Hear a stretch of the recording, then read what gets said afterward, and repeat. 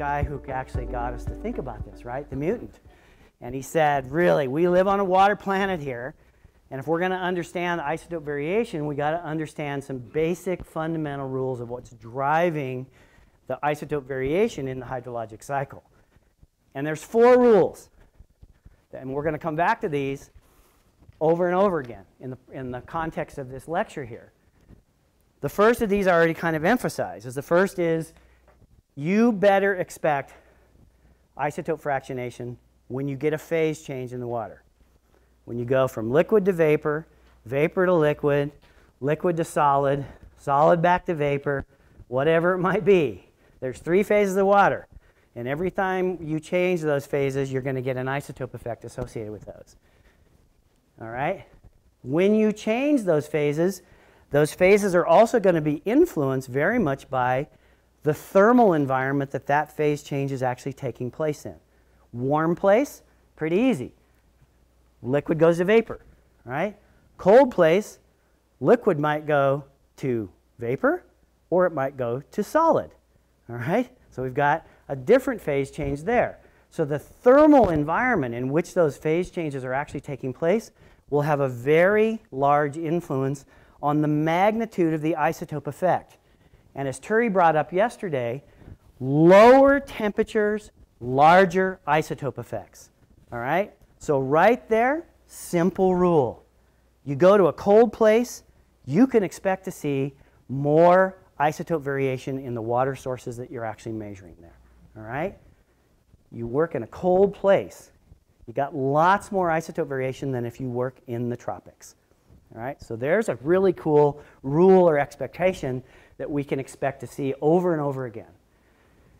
Now, back to the point that I made a little earlier, we have to pay attention to fractionation, of course, but we really have to pay attention to mixing because there's so many different pools and so many different fluxes by which water moves around on our planet that you're always going to have some fractionation and some mixing that's going to set the isotope values that you guys as researchers are going to want to know about because they are your home base. That's the place you're going to run home to mama and say, okay, where do I start? Well, I have to know what the fractionation effect is and the mixing effect before I can even begin to even ask my question, all right? So you're always going to be thinking about how mixing and fractionation come uh, into play.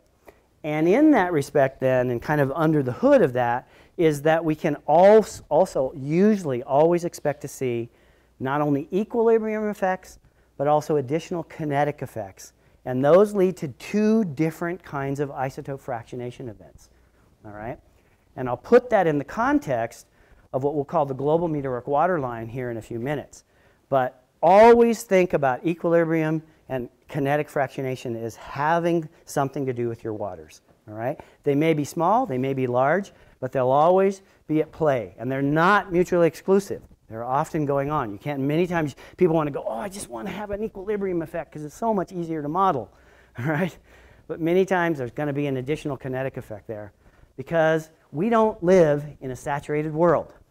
Right? If we lived at 100% relative humidity and our atmosphere was fully saturated all the time, we'd live in an equilibrium world. It'd pretty, be pretty easy. All right? But we don't. Global humidity is 81%. Some places it's 1%. all right? And so as soon as we start to drop atmospheric humidity, we can send water on one, what appears to be one-way trips, which are kinetic fractionation events. All right? So you'll see that kinetic effects can manifest themselves either in large ways or in small ways, depending on where we are within the hydrologic system. Okay, let's get to the isotopes.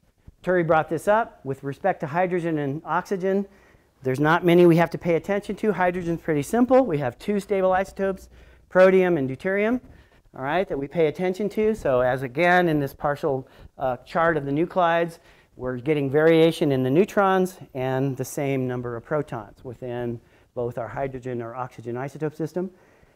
We're going to pay attention to mostly oxygen 16 and oxygen 18 when we start talking about water.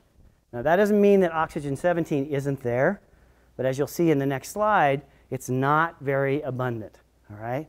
So, for most of our work on water, we ignore O17. All right? But you'll see that there's a lot of people out there that are really excited by O17.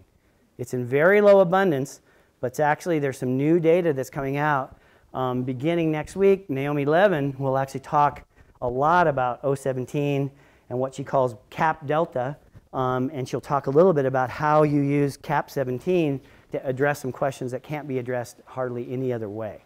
Well, for our purposes, mostly O16 and O18 are the isotopes that are most abundant in oxygen isotopes. And as you can see, that's in this table here. So here shows the actual abundances of the two stable isotopes, protium and deuterium. 99.98% of all the water out there is H1. All right, pretty simple. Not sometimes that easy to measure, although we're getting, we've gotten better at it over the last 20 years. But then we also have one radioactive isotope, tritium. Uh, those of you that are interested in groundwater or actually hydrologic studies, may know that tritium is a very important tracer. Um, it has a half-life of about 12.53 years, and it's really good for dating the age of waters. All right, so if you're interested in trying to get a date, um, tritium can actually be a really important isotope. We're not going to talk about it in this class. And then of the eight stable isotopes of oxygen, again, we're going to focus mostly on O16 and O18. You can see O17 is, is not very abundant. But it's out there. We can measure it. We regularly measure it. It creates a interference for some of our uh, analyses that we actually have to correct for. Um, and Naomi's going to look uh, in real detail um, at O17, but we're not going to look much at it here. Um, oh, just to just know that many times as we're walking through this lecture and as you read the literature, sometimes the uh, deuterium can be expressed either as 2H or as big D. So just know that people use those interchangeably. You've probably already come to terms with that, but know that sometimes the literature, there's a bias in the geochemical literature to call it 2H. In, in the hydrologic literature, many times they just express it as D. And so, but it's the, we're talking about the same thing. They just give it a, a different designator. Okay, now, when we finally get to water and we join hydrogen and oxygen together into the molecule, um, there's really three of the isotopologues of water that we're most interested in. There's kind of nine different isotopologues or configurations of H and O that we can express out there, including the ones with O17. Um, but these three are the ones that we're measuring. In most of our isotope analysis, we're measuring H216O, H218O, and HD16O. There's the masses over here. I've written them down on the board.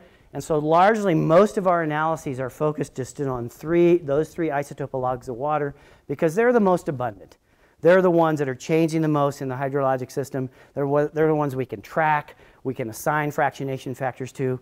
It's not that these other isotopologues are, are you know, not known about, but they're in such low abundance, and many times they're really, really difficult to measure that we largely ignore them for most of our hydrologic work. But they're out there. You, they have been measured and they have been characterized. All right? Um, okay. Isotope expressions, just one more time, just to remind us what our delta notation is. Remember that we're, we're working in per mil notation or small delta notation. Um, as, and, and the reason why, as Thure reminded us yesterday, is that ratios are a lot easier to measure than absolute concentrations. So we use this in our, in our, to our advantage and basically, whatever the isotope ratio of our sample is, whether that's expressed as hydrogen or oxygen, is really the ratio of the rare to common or heavy to light isotope within your sample relative to an accepted standard, right? And then we might multiply that by 1,000 to put it into convenient notation, per mil notation, not percent. We do not ever want to see you guys put a percent sign on your data rejected, right? we'll send it right back to you. We're talking about parts per thousand, not parts per hundred, all right? So make sure you remember to put this down correctly. And then, of course, when it, with respect to our standards, as Thure pointed out yesterday, by convention, we set whatever our standard is to zero per mil, and we compare everything to that benchmark. So this is why it's a delta notation. It's a difference expression. You're looking at how your sample differs from the international standard. And that's why we all have to agree on the standard. Otherwise, we're not talking the same language if we don't have the same benchmark to which everybody's sample goes back to and is compared. So this is the beauty of delta notation. We can all work in different parts of the world, in different types of water, plants, animals, soils, groundwater, doesn't matter. As long as we agree on the standard, we're going to be talking the same language, all right? And so for water, that standard, as Thure mentioned, is maintained by general, the IAEA, the uh, International Atomic Energy Agency. There are isotope police on the planet, all right? They're also the keepers of our international standards. And the standard for both hydrogen and oxygen is VSMOW. It's mixed up by uh, the folks in Vienna. If you get a chance to go to IAEA in, v in Vienna, stop by and visit them. It is kind of a weird place to go. There's like 19 layers of security. They think you're a criminal immediately when you show up. Um, and largely because they, they keep some pretty com, uh, confidential data, right? They are, like I said, the isotope police. They know very well who is exploding nuclear bombs out there. And, you know, it continues, right? Make no mistake about it. And so they know because they're measuring all the isotopes all the time. And so this is a very, they have lots of very top secret data at IAEA. But they also mix up these standards. They're really expensive, all right? We get to buy them once every three years from IAEA. Uh, is it now $450? Yeah. yeah. I think $450 for this much water. Is that right, Suvankar? Yeah. And uh, so don't drink the SMOW, right? It's not a shot glass of water here. So we use that, of course, to calibrate our internal working standards. Every isotope lab does that. So you guys will see there's a Utah's uh, water that you're going to use in the lab. That, that Utah standard is calibrated back to SMOW.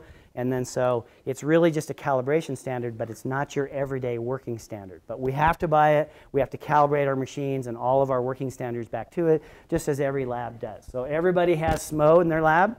Um, there's a couple other standards that you may have heard about. If you haven't, we'll talk about them right now. Um, if you work on ice cores or you work on reconstructing uh, paleo temperatures, many times you're working in very cold environments. All right, and many times you'll be expressing your isotope data instead of relative to SMOW, relative to these two standards that I've highlighted here in these boxes, one called SLAP, all right, Standard Light Antarctic Precipitation, or GISP, all right, Greenland ice, uh, ice cap precipitation. So if you work with ice cores, realize that there's actually three water standards, SMOW, SLAP, and GISP. Read the literature carefully. Many of you may want to go back to some of the literature that was actually worked on on ice cores, and you'll look at those data, and you look at your data and you go, hmm, I'm confused. And the reason why is because most of those papers with ice cores are not using the same standard you use to look at your liquid water. So read the method section carefully of the paper. If you pick up an ice core paper, they often will be using it. If you're looking at paleo literature, many times they may use one of these standards because it's best calibrated and worked on against an ice core. And you may be working on, say, marine foraminifera and maybe the oxygen isotopes in those foraminifera, but the reference point is back to an ice core, all right? And so you better go make sure that you understand what the, what the standard was that they compared their isotope data to. There is. Yeah, it's very easy to interconvert between them, and most of the time, if the paper is worth its salt, it's done it for you. It said we use GISP, and we converted it to SMOW. And they give you those. I've, I think I've given you them in the handout which I failed to say, and you probably figured this out already. There's two parts of the handout. One is the slides, and one's a bunch of text that's coming out of my mouth that I can't put on the slides and don't want to, but it's in there for reference, all right? Other questions? Okay.